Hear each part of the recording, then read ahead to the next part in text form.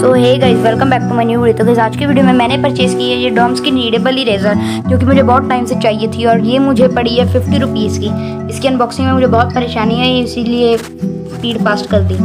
Guys ये खोलने के बाद इतनी ज़्यादा सॉफ्ट नहीं है, थोड़ी सी हार्ड सी।